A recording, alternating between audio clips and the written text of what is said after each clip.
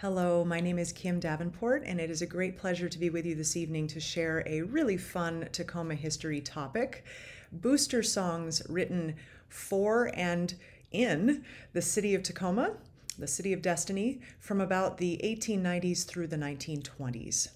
Before I begin, I want to send out a great big thank you to a friend and collaborator of mine, Drew Shipman, who is a senior at the School of Music at the University of Puget Sound. He was kind enough to record a few of the songs with me. So, in addition to hearing the stories behind the songs, uh, learning about where they came from, looking at the cover artwork, we'll actually be able to hear a few of them tonight. But let's talk first about what a booster song is. Uh, we have here an image of lyrics from a booster song about booster songs in Tacoma. Uh, you can see from this example that this was a commonly used term at the time. Uh, and the best description I've seen of what a booster song is, is that it's a musical manifestation of civic pride. What we'll see in these examples is that these are more about civic enthusiasm, advertising Tacoma to the world, than they are about writing great music. They were very, very common throughout the United States in large cities, in small towns. Uh, you were just as likely to find one about New York City as a much smaller town in the rural Midwest. And it's interesting to think about why this was true. The music publishing business was in uh, roaring form in the early part of the 20th century, and the average American home was more likely to have a piano in its living room than a car in its driveway. So, this was a very effective means of advertising at a time when, in most American homes, there was both the instrument and the knowledge of how to play that instrument so that people could buy some sheet music, use it to gather around the piano, and hear some fun lyrics.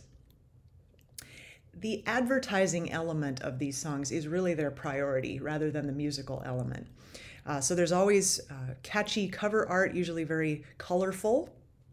The music is typically quite simple and was in very popular styles of the day. So the most common forms are instrumental marches with no lyrics, or uh, if it is a song with lyrics, it will be a chorus that's very memorable and then often have several verses. The lyrics are very predictable and sometimes a bit clumsy and obvious in their rhyme structures. I want to get now into the specific examples because that's really the most fun. Uh, and we're going to start uh, with just an acknowledgement of the sheer number of music publishers that existed in Tacoma during this era. As I mentioned, the music publishing business was, was a booming one in all of the United States, certainly in New York and Los Angeles and major cities, but likewise in Tacoma. Here's just one example that I've taken from some of the sheet music of an advertisement for the Huntington Playwriting Company, talking about how they can offer the service of custom music and songs uh, written for anyone about anything, uh, guarantee a headliner in every sketch we produce. So, in other words, you could have a song written and published in Tacoma for your particular needs. Booster songs served a variety of purposes in Tacoma, I've learned from those that I've looked at. Some are pure and simple advertising Tacoma to the world. Some celebrate a specific event. Some were written for a social club, for example, to be used as a song at gatherings. And sometimes they were commenting on issues of the day, which uh, many of those will focus on the rivalry between Tacoma and Seattle. So, I'm going to share cover art, stories, and in a few cases, the actual music. So, let's jump in. The very first example uh, is actually one that does not have any sheet music with it. Uh, but this I wanted to include because it is such an early example. Uh, this comes from 1888 uh, when the completion of the Northern Pacific Tunnel uh, connected the rest of the country to the Pacific coast. And Lucian Cook, who was a uh, railroader, uh, decided to write new lyrics to an existing song. So, using the music of Columbia, the gem of the ocean, he changed it to Oh, Tacoma, the gem of the ocean. So, it's a very early example, and certainly one that's important connecting to the early railroad history of Tacoma. but it's not an example like the others I'll share with you tonight, in that there's no actual sheet music being published. It's not an original song about Tacoma. The first of those that I've found comes to us from 1895 in the form of the Doolittle Republican Club March. So, this is the earliest I've found. There may be others out there, uh, but my research shows this is the first uh, that I've come across.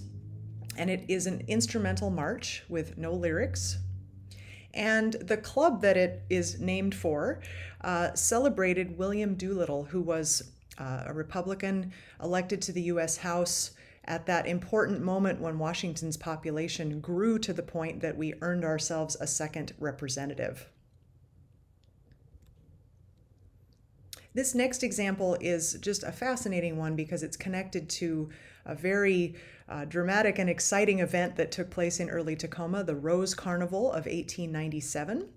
It was very much a tradition in early Tacoma to have festivals around the 4th of July that lasted for several days. And this Rose Carnival of 1897 was no exception. Uh, there were fireworks, uh, parades in several parts of town, many concerts around the city, and perhaps the most unusual example of a, of a civic event taking place uh, is captured in this medal uh, that comes to us from the Sports Museum collection of a world's record being set for speed walking. Uh, so it just gets at how varied the activities were for this particular event. Uh, and as with the time, the event would not have been complete without some original music written for it. And you can see from this cover art, this is very much a homemade uh, look to this cover. Someone drew this by hand. Uh, someone wrote individual names of the members of the Queen's Court, uh, and it's very uh, sort of quaint and personal in that regard. This was a, a truly huge event for this early day in Tacoma's population. Uh, according to newspaper accounts that I read, almost uh, 40,000 people participated. That is uh, about the population of the city. Uh, so just imagine an event that brings out everyone in the city, people from surrounding areas as well, parades, fireworks, music, sporting events, and custom written songs. We come next to the Salute to Tacoma from 1899. This is one of the less colorful cover images that I've found. This was actually published by the Tacoma Daily Ledger. And this was a piece written by Julius Adler, who was an extremely prominent band leader on the West Coast. He actually traveled up and down the West Coast and he formed a couple of different bands while he was here and really established a, an early tradition of uh, military and parade bands in Tacoma. So this is another instrumental march. We've yet to come to my first example that includes lyrics. We'll get to those a little bit later. And it is interesting in that it's one of the first examples that does have fairly understated cover art. Uh, it is that classic photograph, of course, though, of Mount Rainier and Commencement Bay. So I guess he thought that got the point across. All right, Glory of Tacoma from 1906 is my next example. And this is the first example with lyrics. So I wanted to share a few examples of its lyrics with you. Tacoma's gates are open wide to welcome rich and poor. That just invites a rhyme, doesn't it? Be ours the task to help Tacoma grow. That Tacoma Grow slogan is one that we'll hear again later. While the choicest gifts of nature's God on every side abound, as she sits in regal splendor, peerless city of the sound. So there's one of those uh, just hit you in the face rhymes.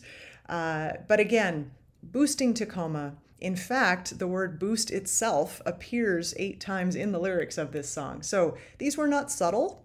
Uh, the the poetry of the lyrics was not um, particularly well thought necessarily, but definitely a focus on talking about all the wonderful things about Tacoma. And we see right on the cover of this uh, cover art here that this was published right downtown in the heart of the theater district by Taylor Gardner Company.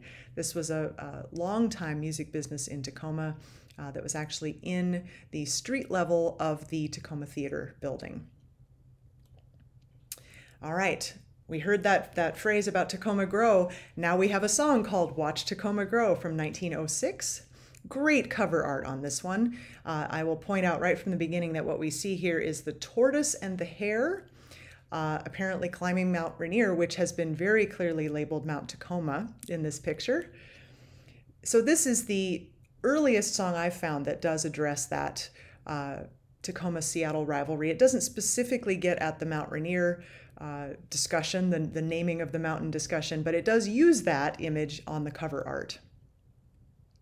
So what's what I found interesting about this this piece is that it was clearly uh, pulling us into this ongoing debate, but the author of the song actually didn't live in either Tacoma or Seattle. He lived in Olympia, uh, and he wrote songs about all three cities. So he was clearly uh, making music and uh, publishing that music and making money off of that music, just utilizing the conversations that were happening in the Puget Sound region. He didn't necessarily have uh, have a horse in the race, shall we say. So this is the first example that we're going to listen to today. So I once again give my big thanks to Drew Shipman, and let's hear a chorus and a verse.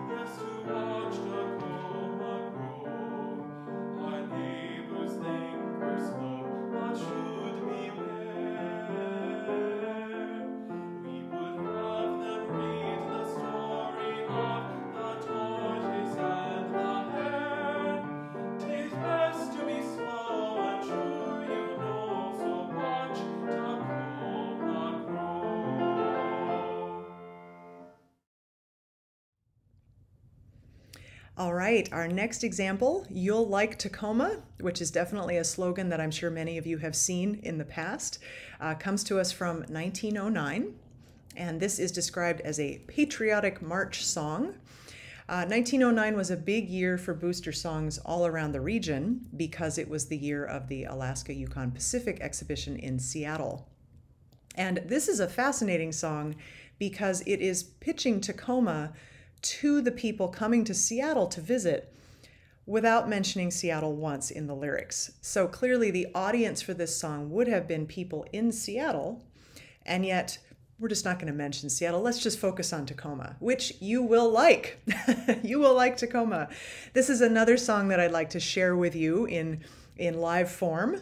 Uh, it's much better to get a chance to actually hear the music than to just listen to me talk about this one. So please enjoy.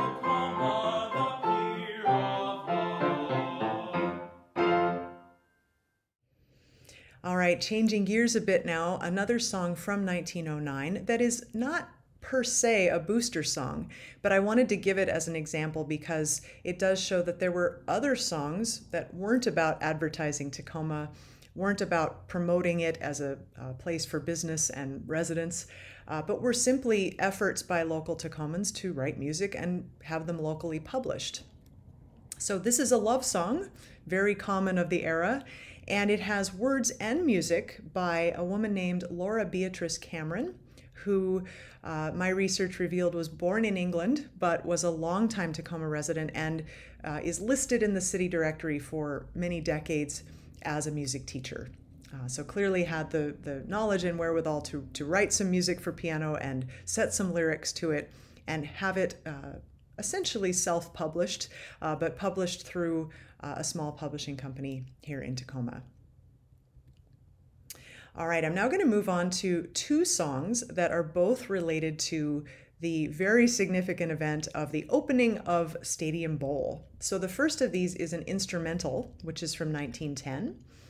Uh, this was written specifically for the June 10th and 11th grand celebration of the opening of the bowl. And the bowl was always uh, intended as a gathering space for all sorts of events, not simply an athletic field for Stadium High School, but fireworks shows, uh, visits by major figures. We've had presidential visits to the Stadium Bowl.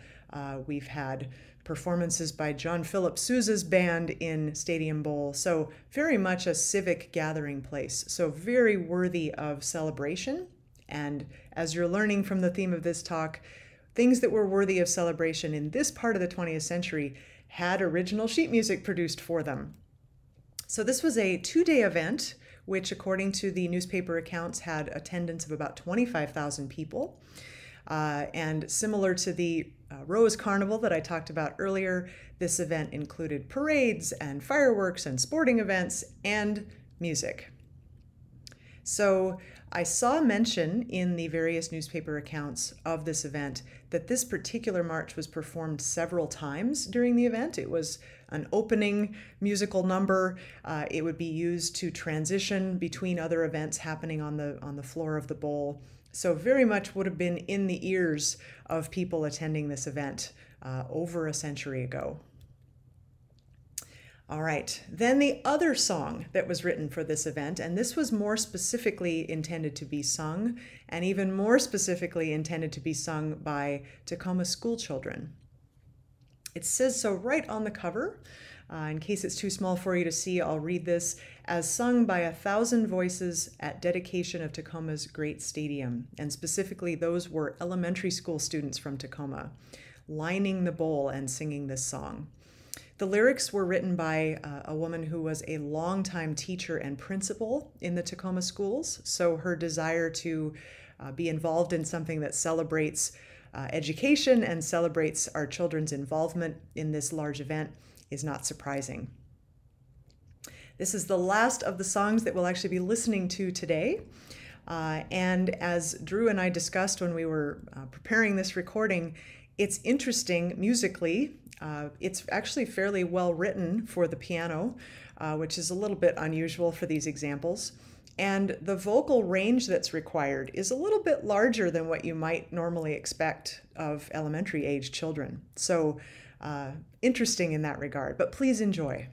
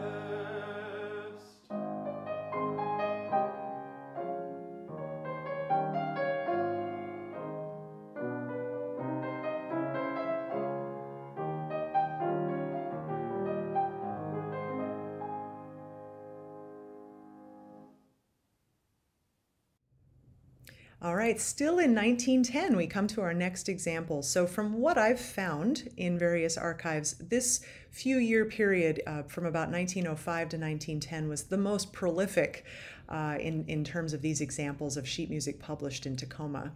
Uh, I'm sure you're looking at the image, and I'm going to explain it in a moment. It's a little bit of a strange image.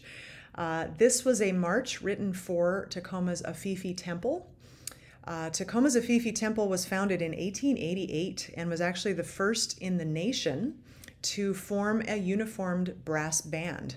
Uh, that's a very common feature of those temples, but Tacoma's was the earliest. So this march was actually written for use around the country. The same music would have been performed in cities around the country, but the cover art was then customized for each location, uh, which gives us this extremely uh, unusual cover with camels in the desert uh, that appear to be marching their way towards Mount Rainier. Uh, I just I, I can't get enough of this. That's such a, an odd juxtaposition. Uh, but just another example of Tacoma's well-established uh, club and temple and uh, social organization structure, many of those organizations having musical ensembles, whether they are choruses or bands, and therefore many of them having uh, customized music written for them. Okay, we now get to the song that I have found that actually gets at the naming of the mountain controversy. This is a song from 1911 called Mount Rainier, alias Mount Tacoma. I'm not quite sure what position the author is taking with that title. Uh, but this was certainly a major controversy in our region for much of this part of the 20th century. Frankly, still a conversation we have, right? Uh, but definitely in the early 20th century, a source of the continued rivalry between Tacoma and Seattle. Seattle was very much content with the Mount Rainier name, uh, not wanting it to be renamed in, with anything close to the name Tacoma. And Tacoma boosters were very interested in having it renamed. So, very logical. Uh, once I got into this research, I was expecting to find a song written about this, and here it is. Uh, the author, George Gaffney, was from Seattle, but he doesn't um, really take sides in his lyrics. He appears to be trying to document the controversy in this song rather than uh, have it be uh, propaganda for either side of the argument. So let me uh, read uh, some lyrics from the chorus for you just to get that across. Now, fair Tacoma child, come listen here. I wish you this would understand. My name is not Tacoma, but Rainier, for so we're all taught in our land. It's so, exclaims Seattle with a leer. Tain't so, retorts Tacoma with a sneer. It's Mount Rainier, Seattle remonstrates, a twinkle in her eye. It's not, Tacoma hotly postulates, in posture to defy. And so this case is standing yet this day, and when settled to be, I venture not to say. So, as I mentioned, not really taking sides, just sort of documenting this controversy. You're not hearing a performance of this because those those uh, amazing lyrics uh, were set rather awkwardly to music. It's not a particularly fun song to sing, uh, but I did want to share those lyrics with you anyway. All right, another just fascinating example comes to us from somewhere between 1912 and 1916 based on my research of the particular versions of the uh, Columbia Brewing and Alt Heidelberg logos that you see here. Uh, so the Columbia Brewing Company was founded in 1900 and was a uh, an anchor institution of Tacoma's brewery district for decades. This is a very unusual example. It was published in Tacoma, so it says uh, on the cover and also uh, inside on the title page, but it appears uh, that it was maybe used at a variety of locations with cover art customized for each city.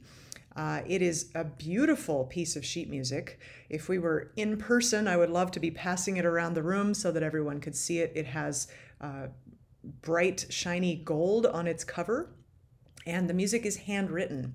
So, just a, a very unusual and really very stunning uh, artifact uh, that is in the uh, Washington State History Museum's collection. But back to a more traditional Tacoma Booster song. Uh, this is another song about an event. Uh, this was the Montamara Fest- uh, Festo or festival uh, held over the 4th of July holiday in 1912. And this was the debut of Tacoma's new motor speedway.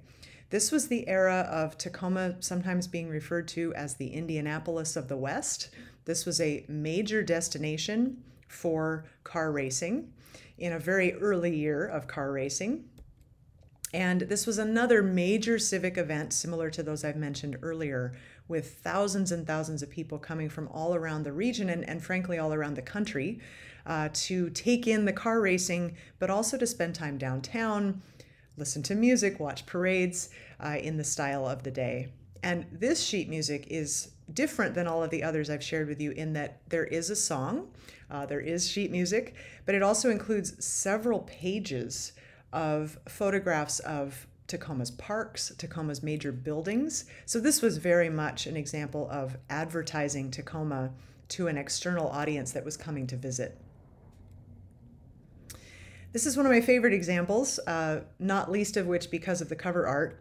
Uh, and this is the first of two examples I have that relate in some way to World War I uh, and exhibiting some patriotism over that war. There are two that I'll share here. There are actually a couple of others that I've come across, but this was one of the uh, instrumental marches that I've come across that is uh, patriotic and war related. And it was actually composed by an African American composer who would go on to spend much of his career in Seattle, uh, but was living for a few years in Tacoma at this time. And you can see actually his own address uh, at the bottom of the cover art says published by Frank D. Waldron, 554 Cliff Avenue, Tacoma, Washington. That's uh, essentially now Schuster Parkway area.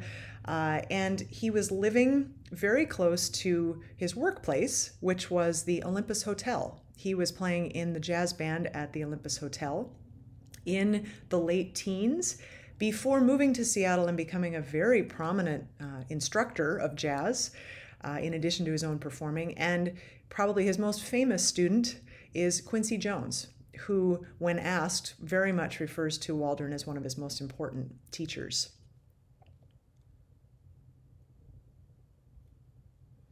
Here is the other uh, patriotic song that I mentioned. Tacoma, we're proud of you. So this comes after the war is over, after soldiers have returned home. And this is a very interesting story behind this song, and you can see a lot of that reflected on the cover. You notice there's a lot of um, type that's probably too small for you to see here, thanking all of the people involved in uh, what was called the Northwest Peace Jubilee, another one of these major celebratory events around the 4th of July. More car racing, more fireworks, more parades. And the words and music for this song were written by the composer who's actually pictured on the cover, Edward Benedict, who was the organist at the Rialto Theater. The publication was funded uh, by the music stores in the theater district and then given out complimentarily to people participating in the events of the day. All right, I'm come to my last example. There are more, there are more out there. There are more that are a bit later in the century, but this is my last that's really of this same era. Uh, and this is a song, again, the words booster song right on the title, just proclaiming it, I am a booster song. Uh, Tacoma, New York of the West, written in 1924 by a man named Thorvald Shevland. And I include this because it is such a great story about Mr. Shevland. Uh, he worked at the Tacoma smelter for many, many years. Uh, never leaving that job, but always writing songs on the side. he dreamed of being a successful songwriter. And there's a wonderful story that I came across that he shoveled coal on a train on the on the way to and from New York City as a way of paying his way on that train to try to sell his songs. Took himself to uh, Tin Pan Alley in New York, tried to find buyers for his songs, tried to find an audience, was not successful, unfortunately, uh, for Mr. Shevland, but he did uh, connect with Bing Crosby, who, of course, was born in Tacoma. Uh, had a few conversations here and there that almost made it. He almost had some success, but unfortunately passed away before ever finding that great success he was looking for. All right. I am very thankful to all of the wonderful archives that we have right here in Tacoma for helping me find and be able to actually tangibly touch these pieces of sheet music. It's been wonderful to share them with you. Uh, I'm very much looking forward to the day when we can start gathering in person again, but in the meantime, we will keep uh, virtual programming coming your way from Tacoma Historical Society. Thank you so much.